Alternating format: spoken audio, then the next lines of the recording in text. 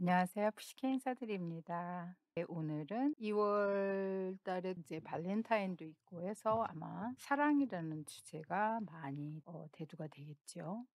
아 그래서 제가 제목을 사랑이란 사랑이란 정의는 내리기가 그렇게 쉽지는 않죠. 저도 어 오래전에 이제 써 놓았던 글로 또 여러분에게 아 읽어 드리려고 가지고 왔습니다. 좀 있으면 발렌타인도 되고 어 선물도 하고 하는 그런 때가 오겠지요. 그래서 제가 얼마 전에 써 놓은 거냐면 2월 초 그쵸? 2009 년이면 굉장히 오래된 글이에요. 그때 어떤 글을 썼는지 한번 여러분께 보여 드리겠습니다. 이제 이건 제 블로그에 해 놨던 그런 내용이고요. 이런 촛대 촛대도 있고 이제 방송으로 보냈던 어 내용을 제가 녹음을 해 놓았던 그런 비디오 도 있네요. 편지를 아나운서님께 보내면서 듣고 싶은 곡을 마이클 볼튼의 아 Love A Love So Beautiful을 Love So Beautiful인가? So Beautiful 아닌가? 네 여러분들께 이 음악을 같이 듣고 싶어서 보내 드렸던 그런 이제 내용이었던 것 같아요.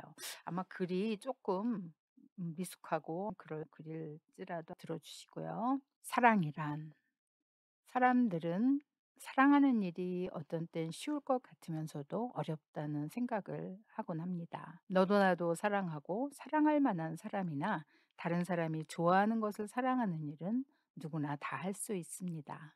다른 사람들이 싫어하는 것들이나 사랑스럽지 않은 사람을 사랑하는 것에 주저하지 않았나 뒤돌아봅니다. 정말 사랑한다는 것은 사람들이 싫어하고 외면해도 사랑할 줄 아는 사람이 진정한 사랑임을 어, 배우고 싶습니다. 사랑이란 아름다운 꽃이 만발한 꽃밭에 서서 좋은 것들만 바라보며 사는 천국이라 느꼈던 적도 있지만 간혹 성에 차지 않는 불만도 크고 작은 고통들도 견디며 천국으로 가는 길임을 이제야 느끼는 저를 봅니다. 늘 아름답게 피어나는 향기로운 꽃의 화려함보다는 그 꽃을 위해 자잘한 배경이 되어주는 안개꽃 같은 은은함이 사랑이라는 것을 이제야 깨닫습니다. 그래서 사랑은 시작도 끝도 없는 그 아련한 하나님의 빛처럼 모든 우리의 아름다움과 아름답지 못함을 늘 비춰주는 한 줄기 빛임을 깨닫습니다. 사랑이란 우리가 그려놓은 아름다운 그림과 같다는 생각을 해봅니다. 가까이서 보면 이런저런 잘못 칠한 색깔과 작은 밑그림이 어찌 보면 그 그림을 아름답지 않게 한다는 생각을 하다가도 한 발자국 뒤로 물러나 전체적인 그림을 볼 줄 아는 안목으로 보는 그 뒤에 숨겨진 아름다움을 볼 줄 아는 사람이고 싶다는 생각을 해봅니다. 가까이 서서 잘못된 점만을 찾아내는 어리석은 삶, 삶보다는 멀리서 전체의 조화를 보며 긍정의 눈으로 그 그림을 볼 줄 아는 아름다운 안목을 가진 삶을 살고 싶습니다. 누군가 이야기하길 사랑의 아름다움은 잠시 머물렀다 사라지는 꽃들과 같다 했지만 꽃들은 사라져도 향기는 우리의 코끝을 맴도는 아름다운 추억이 향기로 오래 남는 것이 사랑의 아름다움임을 배우고 싶습니다. 사랑이란 늘 아름답고 커다랗게 외치는 사탕발림 같은 말에만 귀 기울이는 게 아니라 진짜 아름다운 사랑이란 굳이 말하지 않아도 아, 소리가 없이도 그 내면의 소리를 눈빛으로 귀 기울일 수 있는 침묵임을 또한 배우고 싶습니다. 사랑이란 우리의 입에 달게 와닿는 포도주와 같은 마술 같은 혼미함으로 줄인 영혼을 축여주는 것이 아니라 그리움과 인내로 기다렸던 우리의 목마른 영혼을 기쁨과 찬양으로 채울 수 있는 그분의 맑은 생명수임을 깨우치고 싶습니다. 사랑이란 늘 보이지 않는 그 미묘한 신비로움을 동경하기보다는 눈에 보이는 것에 너무 연연해하는 물질 만능주의에 의해 끌려가는 인형 같은 사람 같음을 마음속 깊은 죄책감으로 회개하고 싶습니다. 사랑이란 추울 때 따뜻함을 주거나 더울 때 시원함을 주는 것이 아니라 우주 만물을 창조하신 그분의 아름다운 모든 것을 있는 그대로 추울 땐 혹한을, 더울 땐 불볕 더위를 참아낼 줄 아는 인내임을 배우고 싶습니다. 사랑이란 사랑하는 이가 제안한 의견에 순종하며 따르는 것임을 우리 귀로 들을 수 있는 할 수 있는 것들에는 순종하면서 누구든지 꺼리는 어떤 일에는 슬며시 뒷전으로 물러나는 것이 아님을 배우고 싶습니다. 사랑이란 넓고 편한 길로 여유로이 걸어가는 것이 아니라 좁지만 이리저리 부대끼며 우리를 단련시키며 가는 험한 길임을 또한 배우고 싶습니다.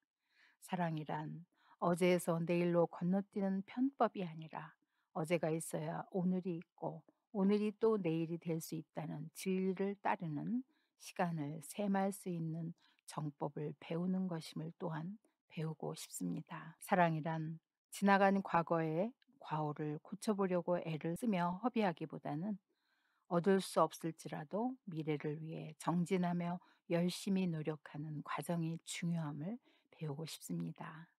사랑이란 덧없는 세월을 같이 흘러가며 우리와 함께하는 모든 것들과 같이 걸어가면서 우리가 원하는 것을 얻을 수 있다는 것과 꿈꾸던 미래는 반드시 실현될 것이라고 믿는다는 것임을 배우고 싶습니다. 사랑이란 어딘가에 있어야 한다는 공간적 개념으로 거리와 거리를 제한할 수 없다는 것과 늘 허덕이며 올라가는 비탈길이 내 삶인 것처럼 여기며 절망하는 것이 아니라 비탈길을 오르는 우리는 반드시 평탄한 길도 내려갈 수 있는 길도 있는 것이 우리의 삶임을 또한 배우고 싶습니다.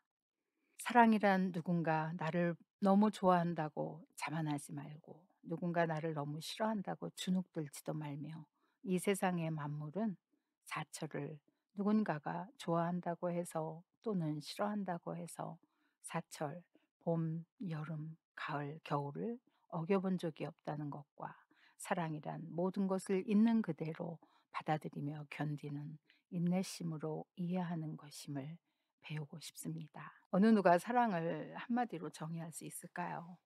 나름대로 생각나는 대로 적어봤던 글이라 말이 안 되는 부분도 있겠지만 여러분들이 생각하시는 사랑과 어떻게 다른지 한번 생각해 보시지 않으시겠어요? 사랑의 달 2월에 시작, 시작되었습니다. 2월의 첫 월요일 언제나처럼 새롭게 시작하는 첫날 사랑에 대해 정의를 내려보며 각각 각자 가지고 있는 사랑관에 대해 가정에서는 가족들끼리, 직장에서는 상사나 동료분들끼리, 친구는 친구끼리 사랑에 대한 생각한 Love is 게임을 해보세요. 상대방이 정의를 내려주시면 because 하면서 말이에요. 이거 오래전 어느 만화에 나오던 거 기억하세요? 오늘도 사랑 가득한 하루 되십시오. 2009년 2월 1일 늦저녁 식혜드림. 예, 이렇게 제가 오래전에 썼던 글을 읽어 드렸습니다. 제가 오래전에 정말 그게 만화가 있었던 것 같아요. 그러면 사랑이란 뭐 이렇게 하면 거기에 영어 그러니까 미국 분이 그렸던 만화인 것 같아요. 그러면 love is 하면 밑에서 because 이렇게 하, 하는 그런 만화가 있었던 거를 제가 하나하나 그때 오려서 모았었던 적이 있었어요. 근데 그 생각이 지금 나면서 어, 우리의 이런 어, 사랑에 대한 이야기를 오늘 해봤습니다. 여러분도 어, 사랑의 달 2월을 즐겁고 행복하고 멋지게 보내시길 바라면서 여기서 마치겠습니다. Mm, all my foreign friend, I'm going to translate it on the screen, so just you can read with that uh, caption. Okay? Thank you. 네, 여러분 오늘 여기서 인사드립니다. 감사합니다. Bye.